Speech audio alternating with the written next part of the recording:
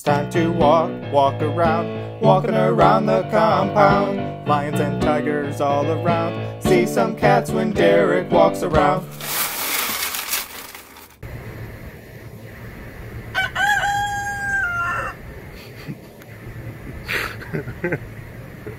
Yep. There. It's gonna be probably a lot of that. Probably gonna be a lot of that. I was out over there doing some stuff, cleaning up some meat things, and uh, yeah, he started on that, and then he started getting attitude, like I'm gonna try some stuff attitude. Hey you, hey you. Like, uh, yeah, I'm gonna uh, like I'm gonna physically challenge Derek attitude. Jeremy did, and it's like Jeremy, I could punch you into the next county. Like, what are you doing? And uh, yeah, we exchanged words. so now he is just, so now he's he's acting like that. I have been insulted. I challenge you to single combat.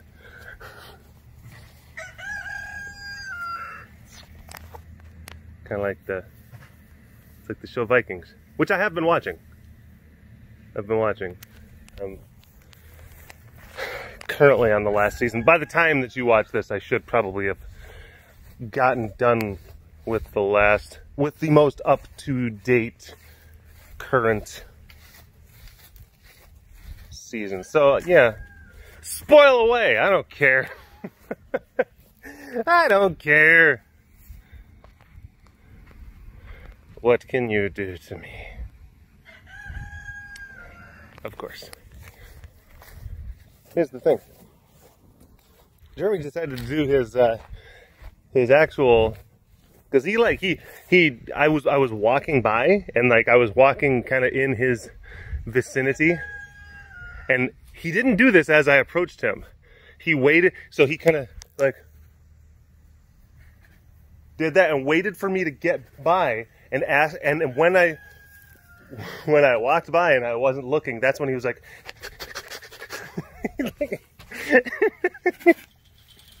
ran up. Yeah. Did the old break yourself, ooh, kind of thing. And it's like, Jimmy, we're not doing this. He's like, You're not doing this. I am. Hi. Hi, bud. Hello. Hello. Oh.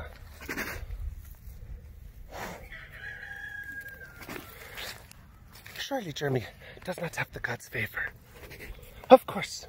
It does not uh, it does not listen to the gods. Hi. Hello.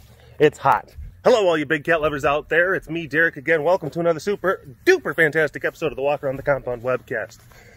All right. It's hot. It's the middle of the afternoon. I hope, hope, hope, hope, hope, hope that uh, this is like the last real hurrah of the summer. I think it may be. I've consulted the gods, Ragnar. I think that maybe it might get cooler. It's my Floki impression. I think it's pretty good. of course, Ragnar. I will do that for you. Everything I do is for you, Ragnar. Hi. Hi, Melita. Mita Pita. Mita Pita.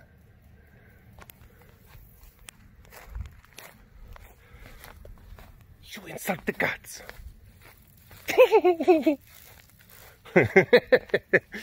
so, some people are like, uh, what's he, what's he doing again? What's he talking about? I have no idea. Other people are like, oh, it's not bad. That's actually not bad. yeah. Who are familiar. Yeah, good show. Good show.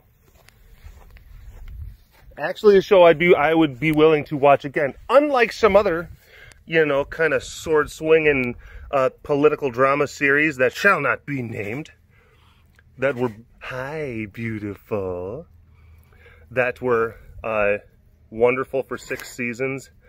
Kind of, uh, what's going on? Seventh season, and absolute steaming piles of garbage during the last season. All because the showrunners wanted to cut and run, build up something that is universally beloved. And then, you know, you just get a couple of pretty shinies dangled in front of your face, and then, like a magpie, you just want to get, get, get, get the thing.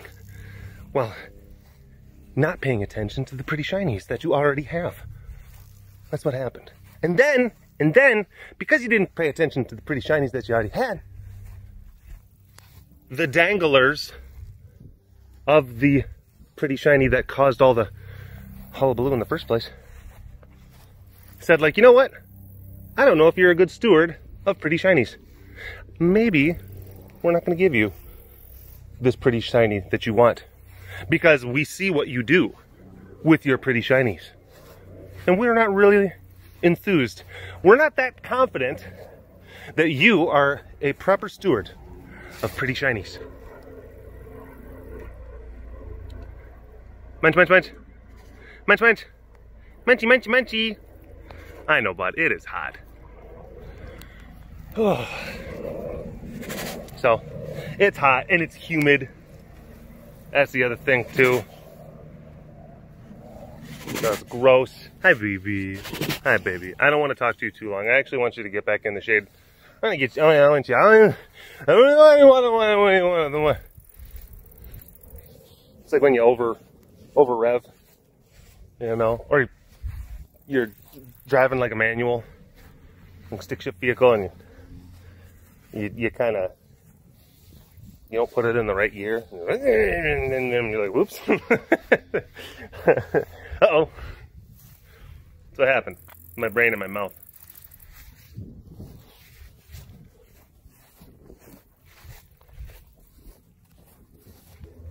Whoa. Whoa. Whoa. Hi. Hello. Hello. Lore, lore, lore. Oh, lore, lore. I know. You're a good boy. Yeah, he's a good boy. He's good boy.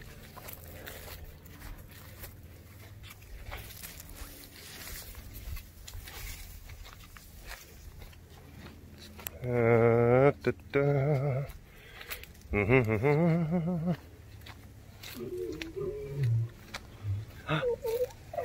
yeah. Whoa. Hello. How pretty are you? How pretty are you? How pretty. Oh, Ra. Are you king of the leaves? Is Ra. He's king of the leaves. He's king of the leaves. Look at. He's got some stuck to his head.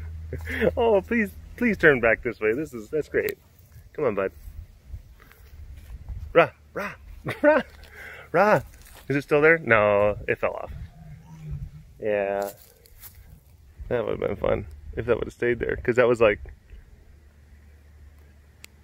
it almost like it was placed. Again, one of those kind of Viking accoutrement.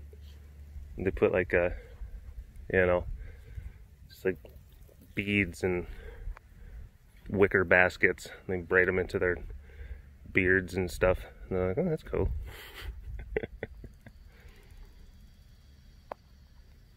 they got their tattoos. But yeah, I like that Viking. Yeah, Vikings, very good, very good. I am a fan, and um, one beautifully shot. I it is a fantastic, a wonderfully, beautifully shot uh, show. And it's all it's very it has it conjures up feelings. It's very evocative. It's it it interplays with the like sprawling kind of vista-y type stuff, but then it also kind of like gets really kind of like up and close and uh, kind of displays emotions. There's a lot of times where there's like long sequences um, where it's it's music and uh, mood and like changes of speed with like the the film structure, like things that are kind of slightly slowed down as far as like the the frame rate is concerned and and it just it, it conjures up these and with the, the, the colors.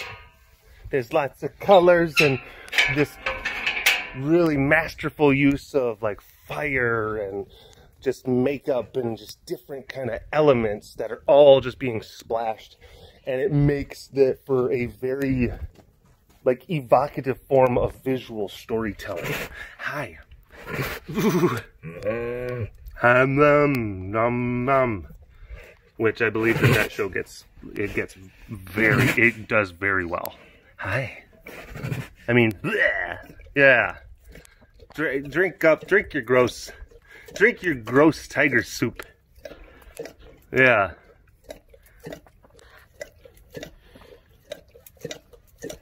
The fountain of eternal doof.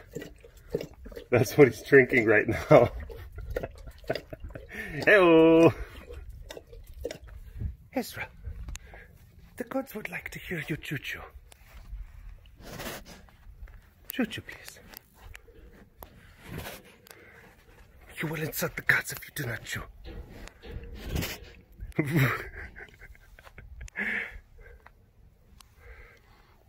Ezzy. Oh, the light. I see, I gotta I gotta angle it up because if I angle it like that, it gets too much of the sky. And there's a lot of brightness in the sky right now. So, you know, sometimes if you have contrasting, because in the shadows and the light and the things. See, I'm taking lessons from the showrunners and producers of the show Vikings.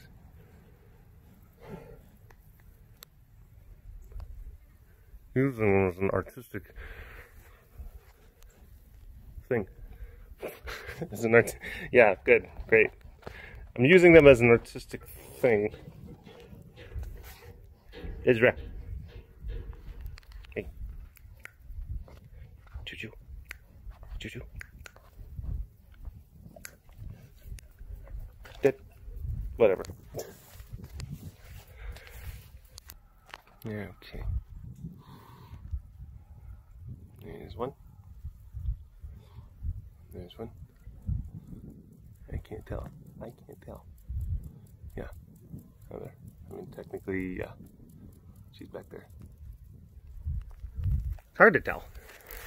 It's hard to tell sometimes because, like, the the darkness of like what it is that I'm shooting mixes with the screen brightness, which my screen brightness is turned all the way up. But when it's really, really bright outside, it's like, and then I sit there and I'm like filming. Yeah, I'm kind of like, like what? I'm doing I'm doing that a lot. like I'm trying to zoom and scroll out and tap and like try to like increase the brightness and doing it. It's weird, like changing the angles and making sure that stuff in the background and the foreground is uh, not trying to compete with each other too much. It just becomes a thing.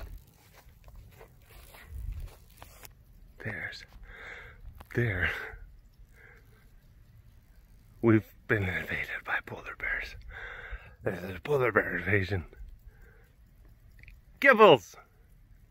Gibson! Gibbs, what are you doing? What are you doing, Gibbs? Dibbles. A. Oh, yeah, yeah. Remnants of a cupcake are over there. that's why. Yep, that is true. That's what's that's what's going on. I may have filmed one of those things. um, it didn't quite turn out in the way that I wanted it to, but eh, you know, we we got there. We ultimately got to where we needed to go. That's all that matters when you're filming cake sequences. Lag attack. Lag attack. What up? What up?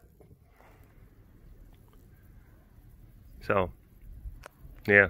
Speaking of contrast, because that's the other thing. So the I'm trying to film him, who he is sitting in a darkened spot, but then of course you got the chain link out in front, which is reflecting sunlight. So then it's messing up with the aperture. No, this is another thing, is that it's gonna look wildly different. It looks a lot more kind of like balanced if it's on like a regular screen. If it's on a regular screen and you're watching it and in like a in a light controlled environment, you're gonna be able to see things. You're gonna you will be able to see this video way better than I can currently see it as I'm filming.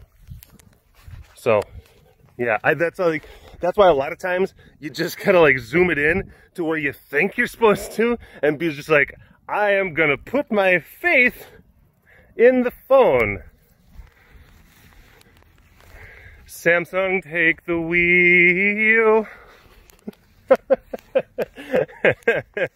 All right. Anyway, thanks for watching this episode of the Walk Around the Compound webcast. Hashtag Dorvis Ward in the comment section below. Like and subscribe for all your big cat goodness. And if you want to learn more about the facility around me, you can always go to the good. You can always go to the website. You can always go to the website. CareRescueTexas.com for more information. And I'll see you folks next time. All right. Bye bye. Psych, we're gonna end it with this handsome boy. Say, say bye bye. And the babies, BBs, team BBs are the bestest of all the BBs. All right. Bye bye. Monkey's butter toast. Munchie saw a ghost. Miko weighs the most.